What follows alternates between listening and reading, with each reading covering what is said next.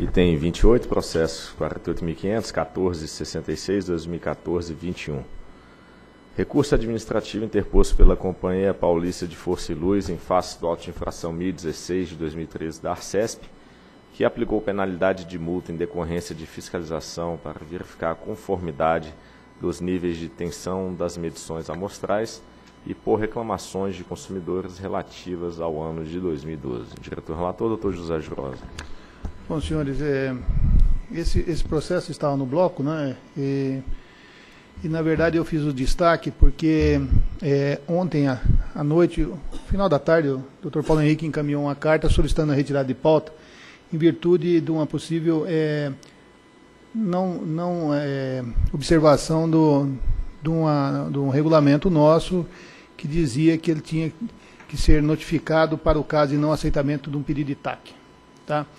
É, e nesse caso, eu em conversa com a Procuradoria, tivemos um entendimento. É, então, é, basicamente, é, o, o, destaque que eu quero fazer é explicar o que está acontecendo, até porque o voto ele já está público, né? Mas eu vou fazer a, a leitura aqui do, do, do, relatório, a Procuradoria vai se manifestar e depois eu, eu faço um complemento, tá? Então, é, é nesse caso, a Arcesp realizou então a fiscalização da CPF L Paulista lá em, em 2012 para verificar o cumprimento dos indicadores de conformidade quanto ao nível de tensão DRP e DRC. Oriundo das medições amostrais é, e reclamações de consumidores, a regularização do nível de tensão das unidades de consumidor cujos indicadores DRP e DRC ultrapassaram os limites estabelecidos e do pagamento da compensação por ultrapassagem do prazo de regularização correspondente ao ano 2012. Nesse caso, a Arcesso constatou diversas não conformidades relacionadas ao procedimento de coleta dos indicadores de nível DRP e DRC, da realização das compensações financeiras devido aos consumidores, cujos indicadores de continuidade tiveram os limites ultrapassados. E recomposição dos indicadores globais dos conjuntos das unidades consumidoras, sendo registrado 14 constatações e 10 não conformidades expostas no relatório de fiscalização lá no número 45 de 2013. E a Arcesp acatou os argumentos apresentados na manifestação da concessionária e cancelou as não conformidades N1 e 5.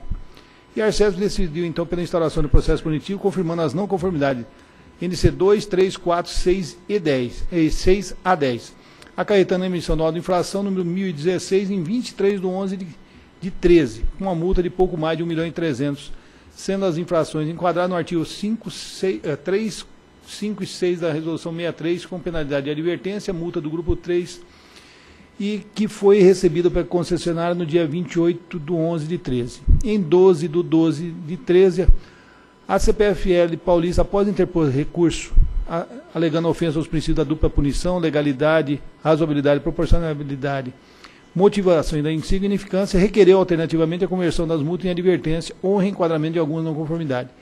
E nessa mesma data, no dia 12 do 12, a concessionária solicitou acesso à celebração do, do TAC, apresentando plano de ações e não tendo a agência se manifestado a respeito, conforme prescreve o, o parágrafo único do artigo 3 da Resolução 333 de 2008.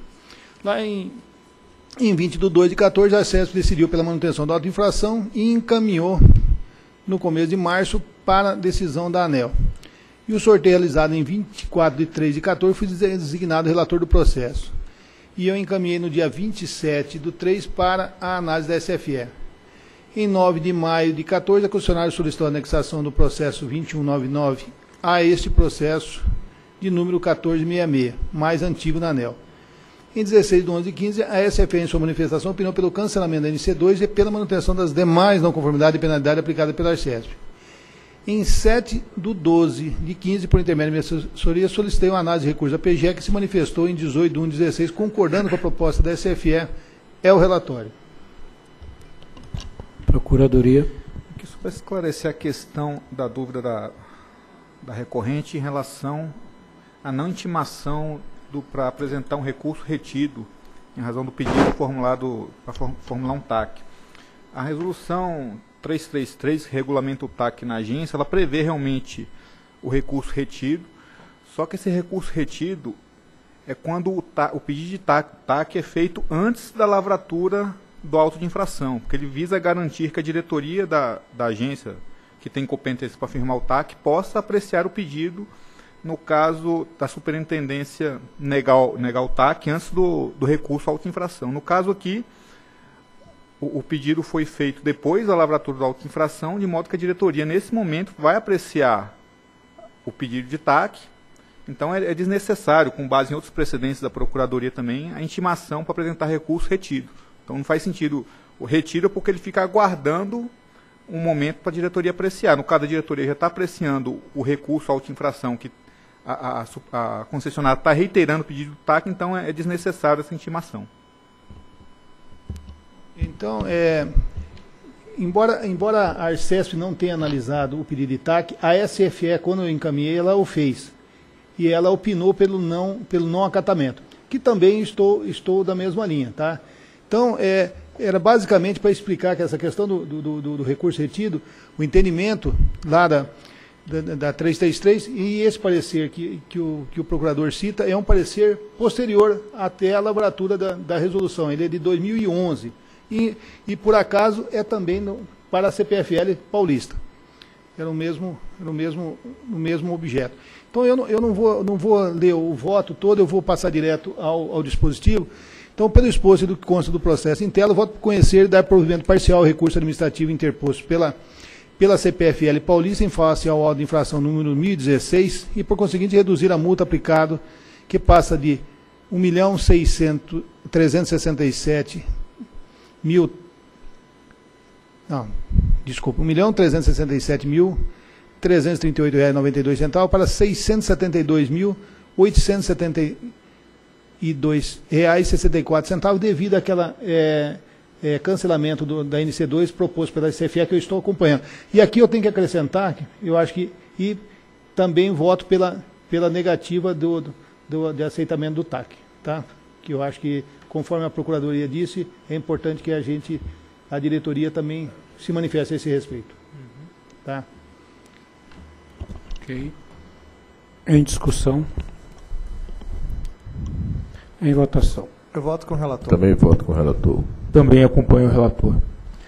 Também voto com o relator. Proclamo então que ele decidiu por conhecer e dar provimento parcial ao recurso administrativo interposto pela Companhia Paulista de Força e Luz, CPFL Paulista, em face do auto-infração 1016-2013, de 11 de 2013, e por conseguinte, reduzir a multa aplicada, que passa de R$ 1.367.338,92 para R$ 672.872,64 e também por indeferir o pedido de a concessão do TAC, não é isso? De assinatura do TAC.